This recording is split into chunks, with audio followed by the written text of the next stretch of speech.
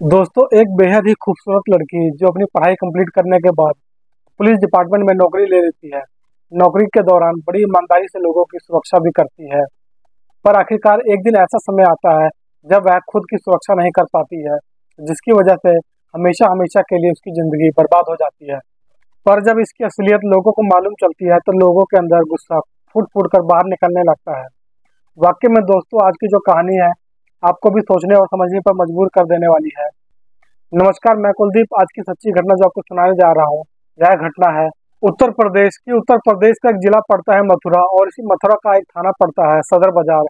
सदर बाज़ार थाने के अंतर्गत एक इलाका आता है दामोदरपुरा और इसी दामोदरपुरा इलाके की रहने वाली नीलम शर्मा, जिसकी उम्र 26 साल की होती है, जो कि एक पुलिस डिपार्टमेंट में कांस्टेबल के पद पर नौकरी करती है। नीलम की तैनाती श्री कृष्ण जन्म स्थल पर सुबह सुबह के पाँच बजे से लेकर एक बजे तक होती है। बात कर रहा हूँ मैं चार अप्रैल दो हज़ार उन्नीस की। कि सुबह सुबह के करीब चार बज के तीस मिनट के आसपास नीलम हर रोज की तरह सुबह जल्दी उठती है, फटाफट तैयार होती है, अपना लंच बॉक्स तैयार करने के बाद अपने बैग में रखती है और अपने घर से ड्यूटी के लिए निकल जाती है। घर से बाहर दामोदरपुरा के पियाऊ के पास पहुँच जाती है क्योंकि क्योंकि यहीं पर पाँच बजे के आसपास जो पुलिस की गाड़ी होती है, वह आती है जिसमें बैठकर वह अपनी ड्यूटी के लिए जाती है। लेकिन पाँच बजने में अभी दस मिनट बाकी ही थे। नीलम जो होती है, अपनी बस का इंतज़ार कर रही थी। तभी वहाँ पर एक काले रंग की कार पहुँचती है, जिस कार के अंदर लगभग चार से पाँच लोग बैठे हुए थे। उसमें से एक लड़का कार का दरवाज़ा खोलता है और अपनी गाड़ी से बाहर निकलता है और नीलम के पास आकर थोड़ी देर बातचीत करता है और बातचीत करने के दौरान अपने पास से तेजाब निकालता है और नीलम के शरीर पर फेंक देता है और फिर वहाँ से काफ़ी तेज़ी से जाकर गाड़ी में बैठ जाता है।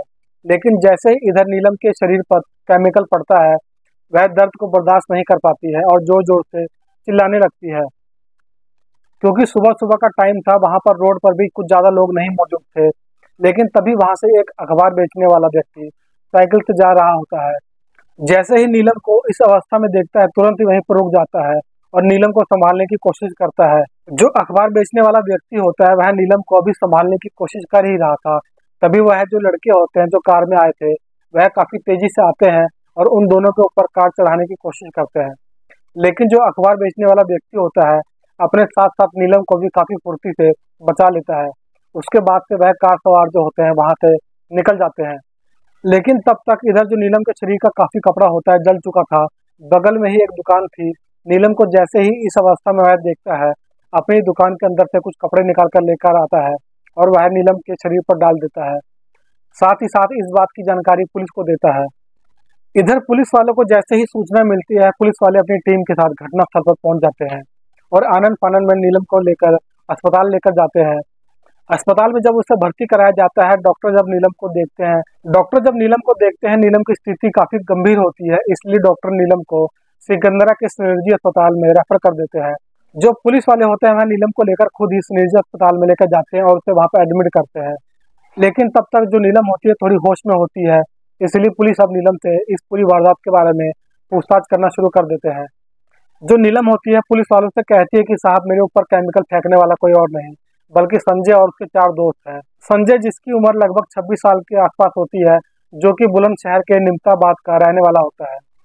पुलिस नीलम के तहरीर पर संजय और उसके चार दोस्तों के ऊपर मुकदमा दर्ज कर देती है और उसके बाद इस बात की जानकारी नीलम के परिवार वालों को देती है।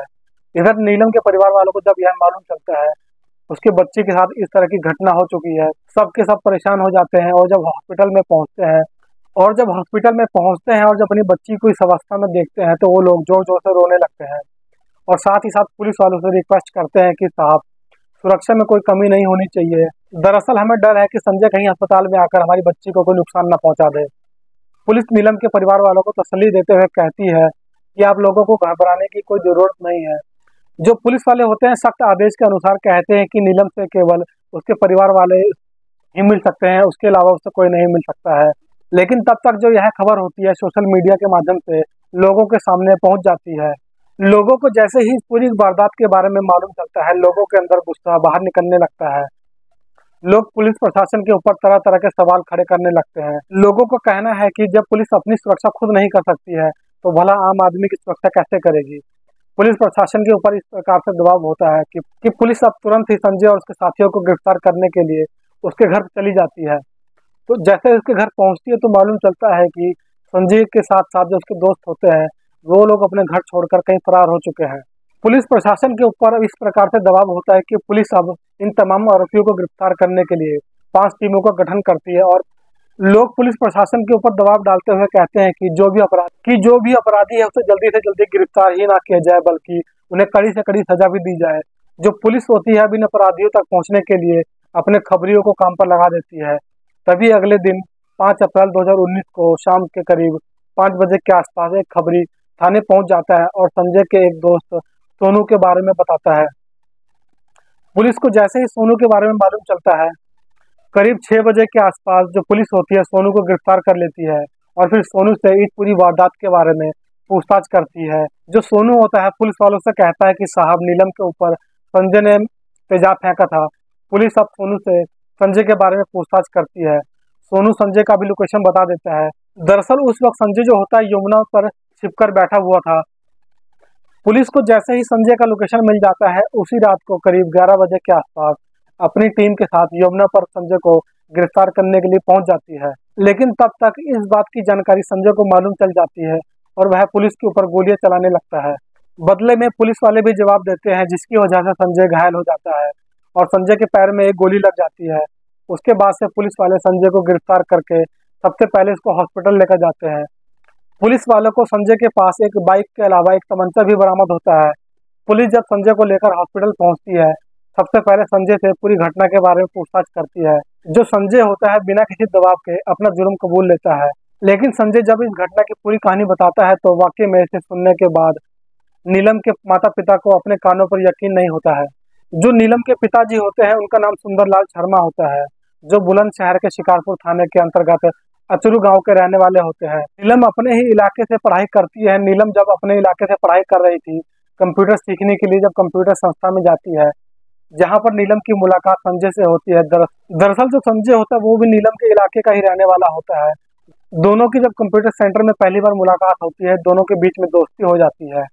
उसके बाद से संजय और नीलम अक्सर फ़ोन के ज़रिए एक दूसरे से बातचीत करने लगते हैं। पर जैसे ही कुछ दिनों का समय गुजरता है संजय को नीलम से प्यार हो जाता है और आखिरकार एक दिन संजय नीलम से अपने दिल की बात कहता है। संजय जैसे ही नीलम से अपने दिल की बात कहता है नीलम उसे तुरंत इनकार कर देती है और कह, और कहती है कि ना मैं तुमसे प्यार करती हूँ और ना ही मैं प्यार के चक्कर में पढ़ना चाहती हूँ। दरअसल मैं पढ़ लिख कर अपने एक बेहतर करियर बनाना चाहती हूँ।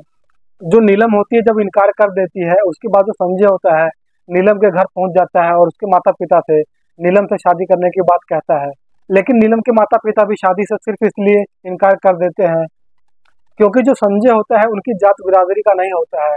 जैसे ही कुछ साल का समय गुजरता है साल 2016 में नीलम की उत्तर प्रदेश पुलिस में कांस्टेबल पद पर नौकरी मिल जाती है। नौकरी मिल जाने के बाद भी संजय जो होता है, नीलम का पीछा करना नहीं छोड़ता है। इसलिए नीलम अब संजय से परेशान होकर अपना जो मोबाइल नंबर होती है, उसको बदल देती है। नंबर तो बदल देती है, लेकिन इसके बावजूद भी संजय को कैसे करके नीलम का जो दूसरा नंबर होता है, वह मिल जाता है। और फिर उसे फ़ोन कर करके बार बार उसे परेशान करने लगता है। और जैसे ही एक साल गुजरता है जो नीलम का जो ट्रांसफ़र होता है मथुरा शहर में हो जाता है। साल 2018 में नीलम की तैनाती श्री कृष्ण जन्मस्थल पर हो जाती है जहाँ पे उसकी ड्यूटी सुबह पाँच बजे से लेकर एक बजे तक होती है। इस, इसलिए नीलम जो होती है अब दामोदरपुरा इलाके में एक किराए पर कमरा ले लेती है और अपने सहयोगी नीतू के साथ वहाँ पर रहने लगती है। जैसे ही साल 2018 आ जाता है नीलम के जो परिवार वाले होते हैं उसकी शादी दूसरी जगह पर तय कर देते हैं। पर जैसे ही शादी को तय कर देते हैं, इस बात की जो जानकारी होती है, संजय को मालूम चल जाती है। संजय को जब मालूम चलता है कि नीलम की शादी तय हो चुकी है और वह शादी करके दूसरे के पास जाने वाली है, इस बात को संजय बर्दाश्त नहीं कर पाता है। दरअसल संजय सोचता है कि अगर नीलम मेरी नहीं हो सकती तो वह दुनिया में किसी की भी नहीं हो पाएगी। इसलिए जो संजय होता है नीलम को इस दुनिया से हटाने का तय कर लेता है। और फिर संजय नीलम को इस दुनिया से हटाने के लिए अपने चार दोस्तों के पास जाकर बातचीत करता है। जो उसके चार दोस्त होते हैं, उनमें से एक का नाम होता है सोनू और दूसरे का नाम होता है विनोद। जो तीसरा दोस्त होता है, उसका नाम बॉबी होता है और चौथे दोस्त का नाम होता है राजेश। दरअसल जो चारों दोस्त होते हैं, उनको संजय और नीलम के बारे में सब कुछ मालूम होता है। जब संजय अपना पूरा प्लान इन चारों से बताता है तो यह चारों संजय का साथ देने के लिए तैयार हो जाते हैं। उसके बाद से ये लोग सब मिलकर नीलम के जो डेली रूटीन होता है कि नीलम कितने बजे ड्यूटी पर जाती है और कितने बजे अपने घर वापस आती है। जब संजय को मालूम चलता है कि नीलम सुबह पाँच बजे अपने घर से प्याऊ के पास बस पकड़ के ड्यूटी के लिए जाती है और एक बजे अपने घर पर वापस आती है।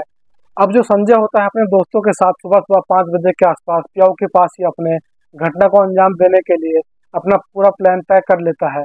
उसके बाद से संजय अपने प्लान के तहत जाकर तेजाब खरीद कर लाता है और और फिर अपने दोस्त बॉबी के ही कार में 4 अप्रैल 2019 को सुबह सुबह प्याऊ के पास पहुँच जाता है। सुबह पाँच बजने में अभी दस मिनट बाकी थे, तभी जो नीलम होती है, अपनी बस का खड़ी इंतज़ार कर रही थी। इससे पहले कि उसकी बस आ पाती, संजय जो है कार से निकल कर आता है और जा करके नीलम से बातचीत करता है। दरअसल संजय नीलम को काफ़ी समझाने की कोशिश करता है कि तुम मुझसे शादी कर लो, लेकिन नीलम जो होती है, अपनी जिद पर उतारू हो जाती है और कहती है कि मैं वहीं पर शादी करूँगी जहाँ मेरे माता पिता कहेंगे। संजय जो होता है, तमाम कोशिश कर लेता है, जो नीलम होती है उसकी बात नहीं मानती है। जब उसकी बात नहीं मानती है तो संजय अपने पास से तेजाब को निकालता है और नीलम के शरीर पर फेंक देता है और वहाँ से काफ़ी फुर्ती से जाकर उस गाड़ी में बैठ जाता है। दरअसल संजय ने पहले से यह सोच रखा था कि अगर उस केमिकल से नीलम की मौत हो जाती है तो ठीक है, अगर उसके बाद भी उसकी मौत नहीं होती है। तो संजय अपने साथ एक हथियार भी लेकर गया हुआ था।